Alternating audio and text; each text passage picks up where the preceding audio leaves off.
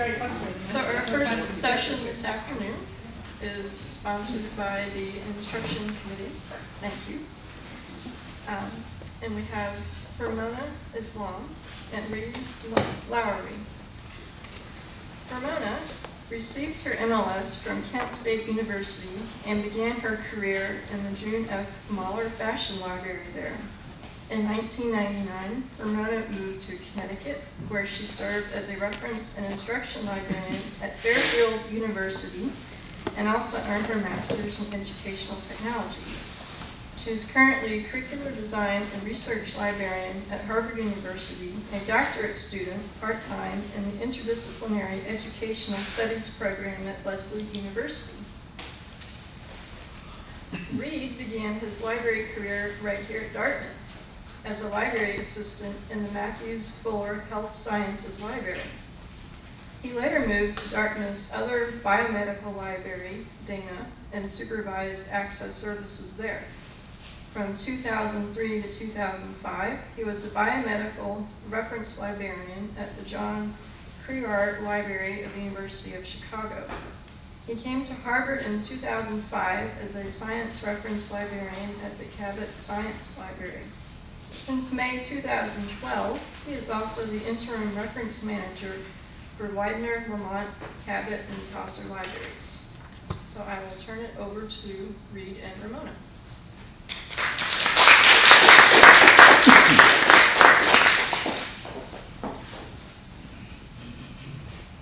We actually have intro music. We're not music librarians, as you can tell. And I don't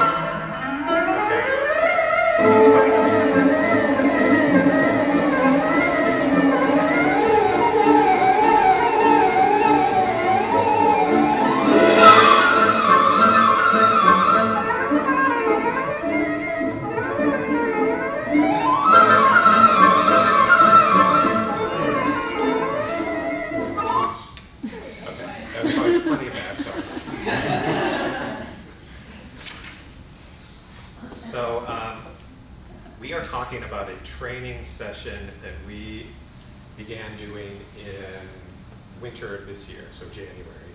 Um, and Ramona came up with the idea of calling it a bee as in a quilting bee. Um, and basically the idea is we get together and we talk about reference questions with new librarians. So I thought we'd give you a little background on how this sort of came about. Um, so we started, well, the story starts like in 2000 and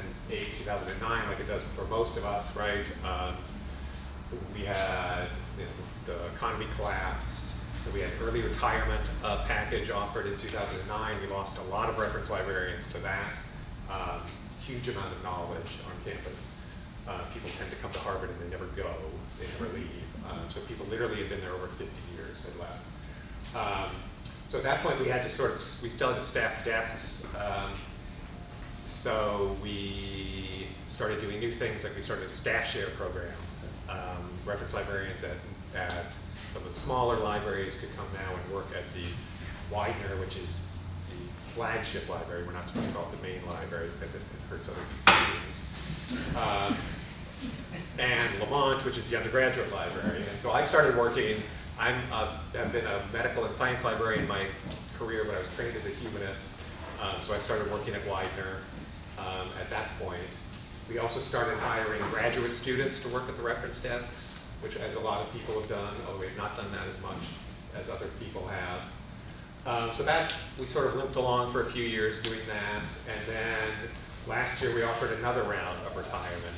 Uh, and if this ever happens to you, take the first package they offer. The second one is never as good as the first one.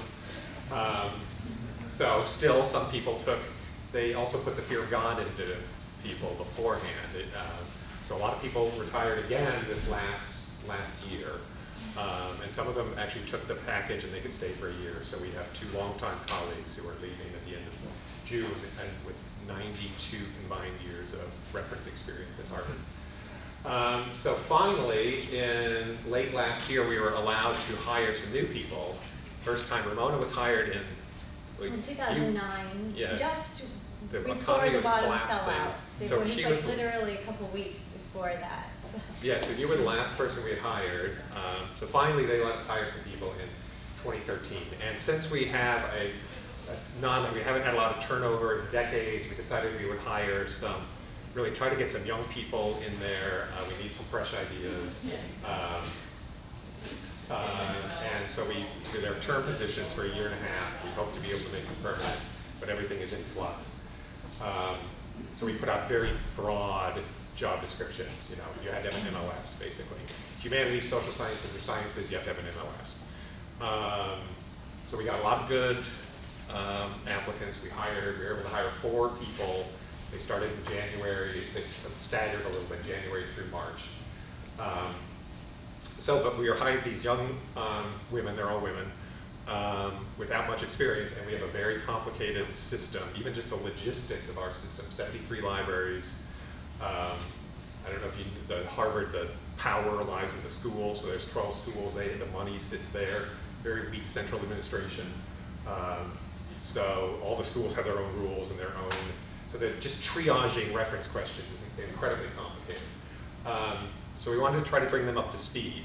And we came up with this idea, actually it's Ramona probably more than uh, me. We um, came up with an idea, we had done this earlier, the anthropology librarian retired, we weren't allowed to replace him, he was our only reference librarian. He used to work at Dartmouth also. Um, and so we trained the frontline cert staff to do reference, and they both actually have had MLSs. And Ramona organized that in the fall, and it seemed to go pretty well. And the thing we liked the best about it was we would get together, we would give them reference questions, and then we would get together and talk to them about, you know, how did this work for you? What did you, you know, how did you approach this question? Where did you look for answers?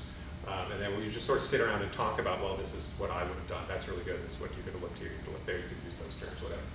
Um, so we, we came to the idea maybe we should do this with these new people as a cohort and um, get together and talk about reference questions. And so we did start to do that um, in January, but before I talk about the nuts and bolts of that, Mona is going to talk about the thinking behind why this is actually a good idea. So as we told you, we're working with professional librarians, those who have MLSs, although we do think this model could be adapted for students who are also adults. Um, so usually adults learn best when they're intellectually stimulated, when what you're talking about relates to information that they've already learned, their knowledge base.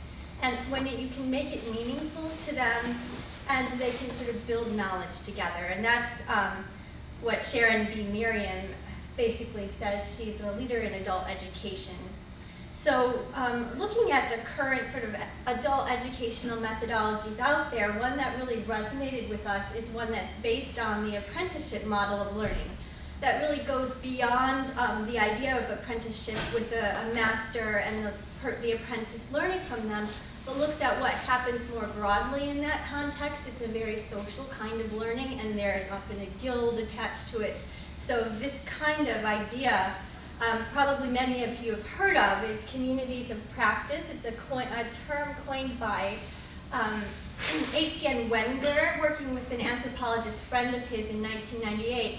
And they simply recognized the learning model that has been around since forever, practically, but they put a name to it and they identified its basic components, would be, which is that there is a common domain of interest shared by the learners in the community. And in our case, that would be reference librarianship, specifically music librarianship for that component of the bee. Um, secondly, learning together is a feature of a community of practice. And finally, that this community is working together to develop a shared practice, um, a storehouse of their best practices that every member can dip into. The idea is that the model engenders autonomy, so it's not an administrative person sort of looking down and telling us what we need to do, but it's us as reference librarians going out there, finding authentic questions that we know are relevant, and practicing with those things. Um, it's very much oriented to our needs as practitioners, so very relevant to our actual work. It's authentic. As Reed will tell you, the, the questions we're dealing with are actually asked by members of our uh, community at large, the student body. Um, and the learning is very informal. There are no tests to take. This is um, very conversational in nature. Trial and error is fine. No one is expected to be perfect. And it engenders crossing of boundaries, which is very relevant for why we're talking to you today, because we're mm-hmm. training non-music reference librarians to handle some music reference questions, but also to know when they need to refer to the experts in the music library. So if they were not trained this way, they might not even realize what types of questions music librarians can answer. We have an example in here of something no one would have ever dreamed there would be an answer to and might have sent people away without this kind of training. Um, and it also allows different boundary crossings in the sense of we're working with younger, very recently educated MLS librarians who, and our expert librarians at sort of the, the pinnacle, and we're allowing them to cross and learn from one another. So um, just to reiterate a little bit, um, so the learning together piece builds on their previous experience in the sense that they are trained reference librarians, they've been to library school, all but one. Actually, one of them recently earned her PhD at Harvard and was so impressive and promising a candidate that we brought her on board and she has relevant um, experience researching in the Harvard libraries. Um, so it's connecting to their experience that way, but also one element of the way we approach this is we give them the questions to work on before, um, we give them some time to work on a question before it's workshopped. So literally they've experienced um, the challenge and they can bring that into space where we're learning together. Also, um, there's critical reflection and dialogue. Of course, any problem, people have different uh, means of solving it, and that gets discussed. And very importantly, there is space for storytelling and meta-narrative.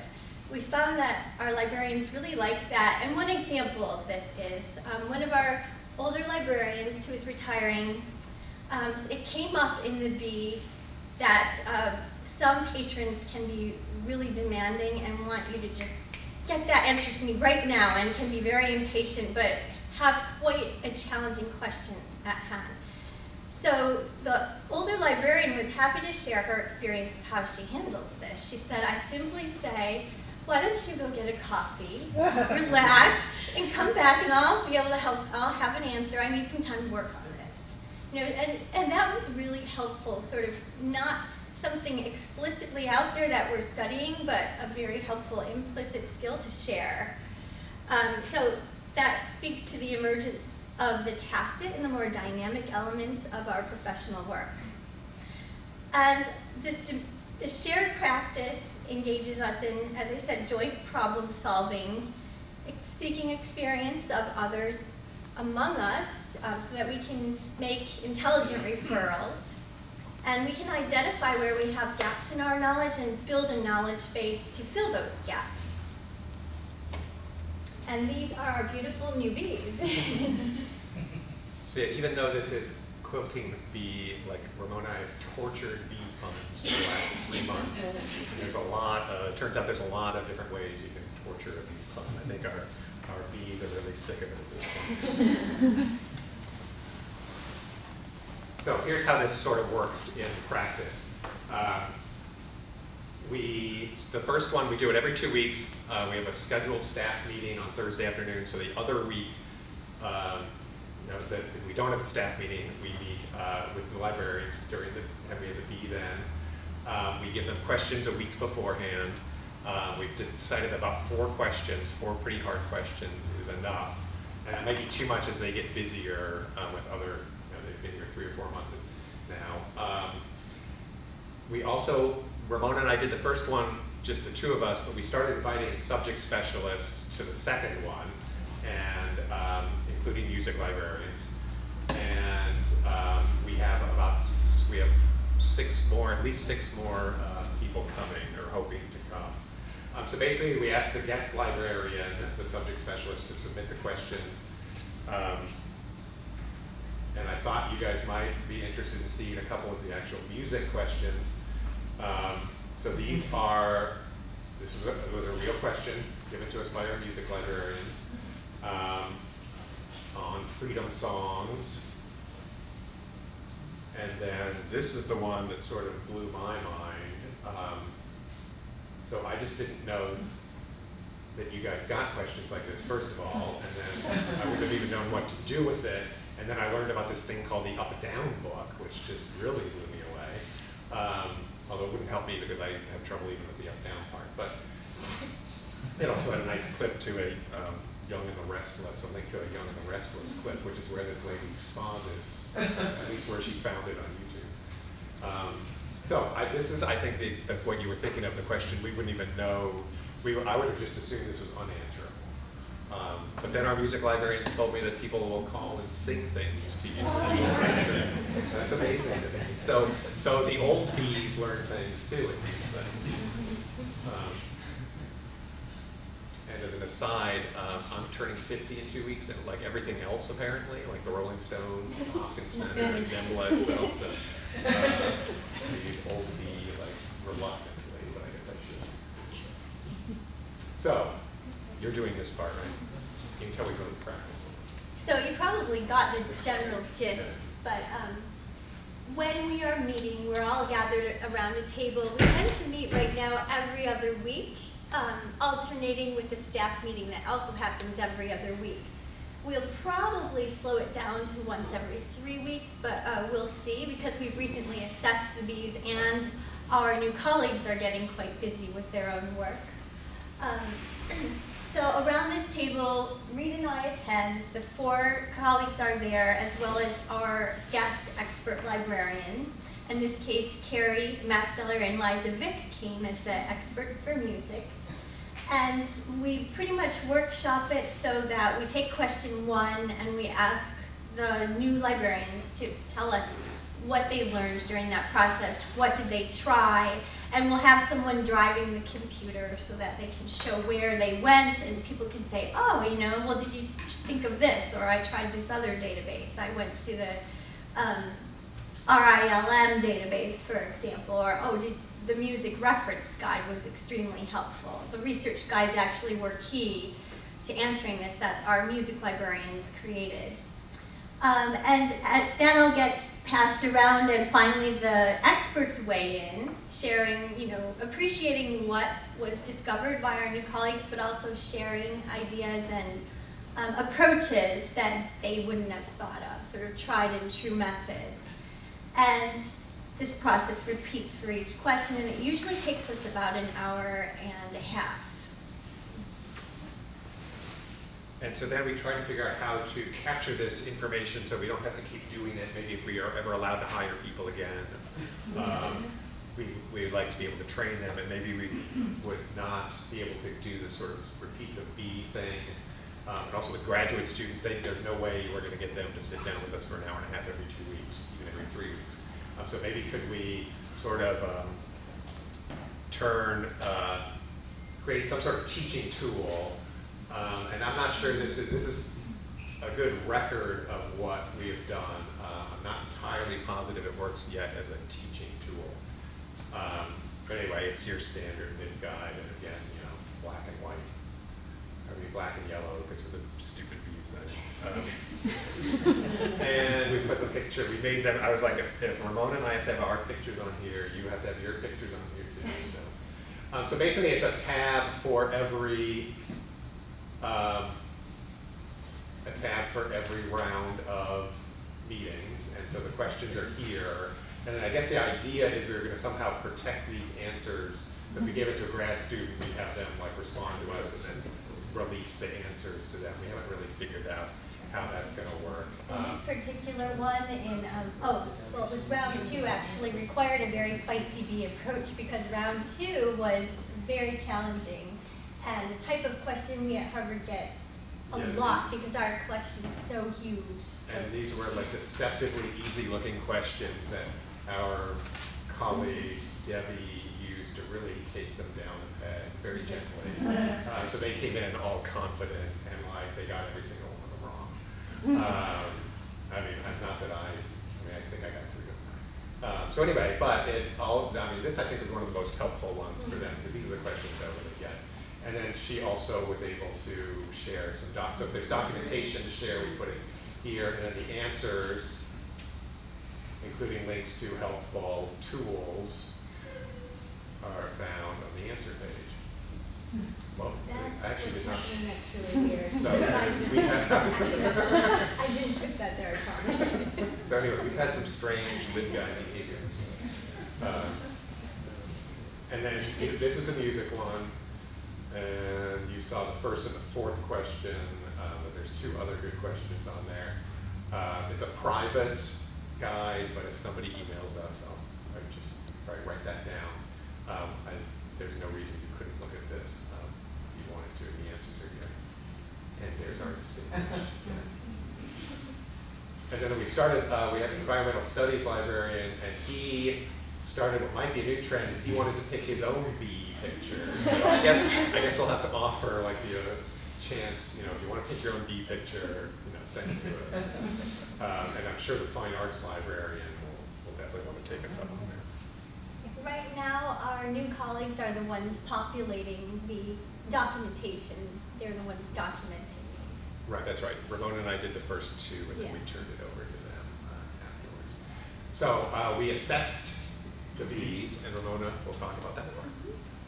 So very recently, our colleague Cheryl LaGuardia, who's an expert at um, focus groups and assessment, um, agreed to meet with our new colleagues, and she enjoyed it thoroughly.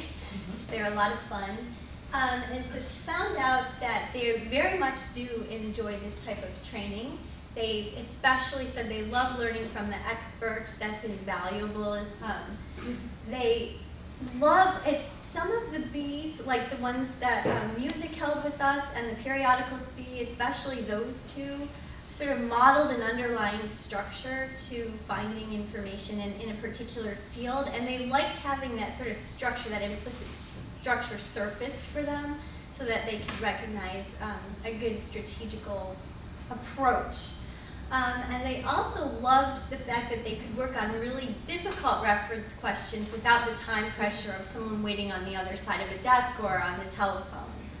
Um, things that they'd like us to do to improve the session is to, um, first of all, the computer. Usually, that we haven't been as organized about that as we could have been. So oftentimes one um, person tends to be driving during the demos, and what we plan to do now is pass that computer around so each new colleague can sort of drive the demo part for each question so that everybody gets a chance and no one person has to shoulder all of that.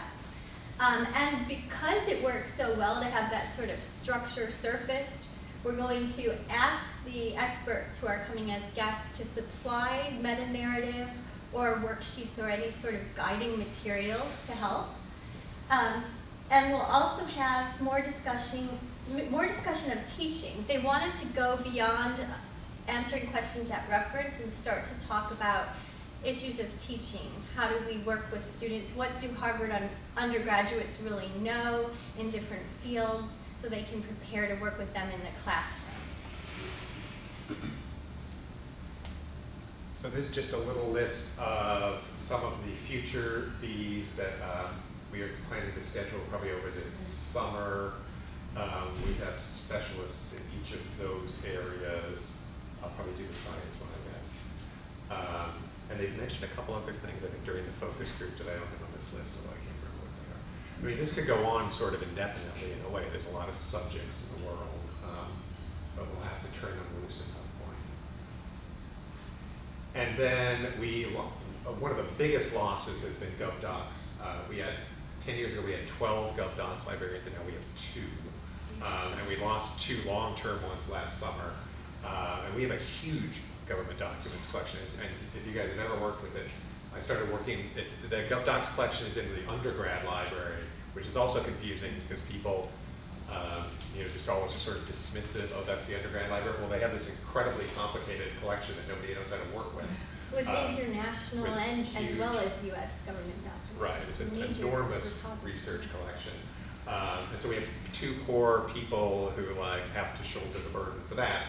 So we've been, tr- we thought maybe we should do a, a whole another round of these, open them up to a larger group, like everyone who works at the reference desk. Um, and then, yeah, I guess it would be you and the older bees.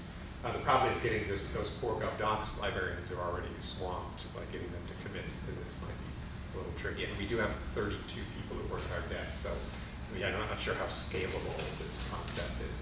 Um, but anyway, that's, um, probably something we'll start thinking about this summer. And that, I'm actually gonna open the Q and A by, um, asking a question. Um, and that is not to put our colleagues from the music library on the spot, but I was just hoping Liza and or Kerry could maybe give their impressions of how they thought this worked from their perspective as one of our first guests uh, of the meeting. They're not really putting us on the spot because they told us they were gonna Oh, ask. come on. But we can pretend to be surprised. Well, I just wanted to mention a few things. First of all, it was incredibly fun to work with them. They're all very energetic and very positive, and they brought a lot, I mean, a lot of energy to the workshop. And they came over and, and worked on that tune question together and got a little bit of help from us. And the interesting thing that I found at least was that we all, everyone used at least one search strategy that we hadn't thought of. So between Kerry and I, subject specialist, and the four of them, everyone found at least one search strategy that we hadn't thought of. And the last thing I wanted to say is we also invited them, we were encouraged to invite them to classes we were teaching. So we invited them to a junior thesis writer workshop. Um, juniors planning to write senior theses and submitting proposals.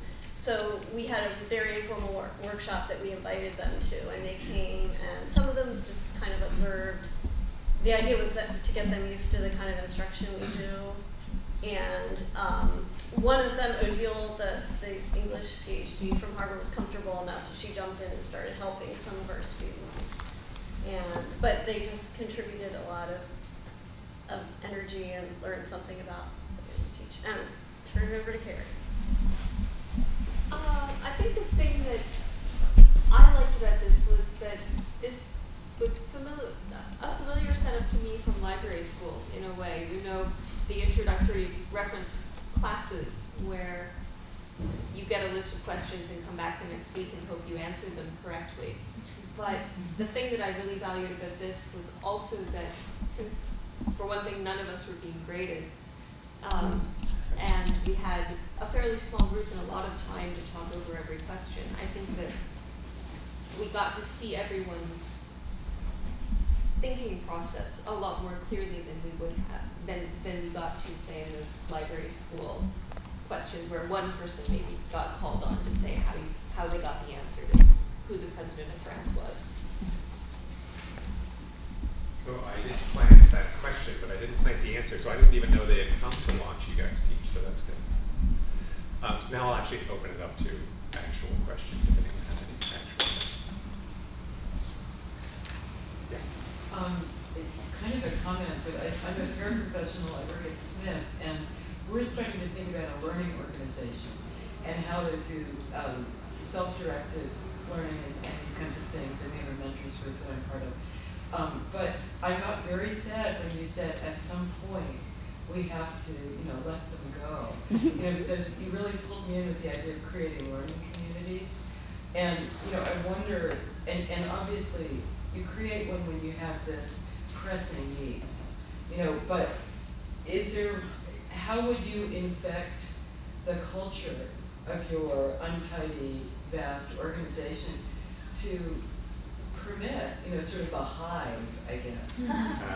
Uh, uh, no. of, of, to communities because it seems that you learn so much by teaching, and and You learn so much more when you have a learning community. Right, and I've been thinking about this, but you, no, go ahead, please. Well, I, I love that you use that metaphor, but also maybe if we do have success with this government documents version of it, uh, from what we're observing, the librarian experts who attend love it so much that I think it will become almost infectious among the staff. And Reed and I felt that way after working with the anthropology librarians. I mean, we, felt a craving, to, we wanted more of this. And then when Reed mentioned it, hey, why don't we train our new librarians like this? I was like, of course, you know, so yeah, I think there's a lot of hope that it could continue. Yeah, I've been thinking, so we have at those three libraries, we have, so four service points, 32 staff members reporting to nine different supervisors. So it's really hard to get them in the same place. But I've been thinking maybe we could do some casual, every month brown bag, like, and they've done this in the past, like long before Ramona and I were there. And just somebody would demo a resource. So we've been doing a lot of our staff meetings, we started demoing resources, which they haven't done apparently in the past. So I think there's been some thought about that. Like, I guess we don't have to, we have to let them go from this maybe, but um, perhaps we could, yeah, create a new hive somewhere. Well, and learning research also suggests that if there's a test, but not like a test with grades, if there's a little pressure there that you actually learn more. Right. Um, so, you know, to, to create that opportunity for people where it's like a lot of support, but a little bit of pressure. That's probably what we have. I mean, we are their supervisors, or three of the four. Yeah. So there's there's obviously going to be a little bit of pressure because we're in the room, even though we're both pretty chill. Um, any other questions, comments? I was just wondering, as they're new, I don't know if they have the same responsibilities as you do. Um, probably all of you or all the subject discipline experts create their own subject guides. So I was wondering if then you sort of bring them into assisting you to do certain projects, even if it's not their area of expertise. You know, you can sort of call them in, in sort of an active working partnership. You know, so if you need an assistant to help you, you know, if there's a way to continue the partnership kind of aspect. And we have talked about that. Yeah, Um, we, we would be really careful not to frame, I'm sure you didn't mean it as an assistant. We'd No, no, no, but I mean, just Yeah. sort of creating collaborative, you know how sometimes we have all these things to do, so, oh, I just had someone sitting here, because sometimes there are certain tasks which, it's just nice to sort of talk them over, you know, whether you might prove help you to proofread something, or, you know, you need an objective, um, crit- critique of something you're working on, and they can be a part of something that you're also working on. Right, no, that's just had a great. And we have a liaison program that's getting reshuffled because of these retirements, Mm-hmm. and I think we can't really make them liaisons since they're on term appointments, but I think we're going to bring them in as sort of part of the team. Right. Um, And certainly, yes, and they're all working on a separate LibGuide Right. group, um, so creating content. And one reason we hired like dynamic young people is they know how to like, they know CSS, and they know how to do all this stuff, Right. so they're gonna like. They have skills that They have skills that I don't have, Right. basically. Ramona has, she has everything. As do our librarians here, and I'm sure many of you. Um, just wanted to say, if by any chance we would be able to keep these new colleagues, we would be very pleased, but we, we don't know that for sure.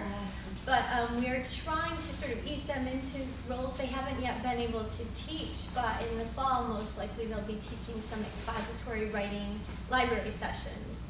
Um, and they are observing librarians um, in their teaching, but they're also being paired with librarian liaisons in different subject domains. So they'll, they'll work with that librarian, maybe attend um, meetings for the department or parties of the department, but also just see what they're doing, help with the library guide or whatever is being done. Great. Well, there's no more questions. Thank you. Thank you.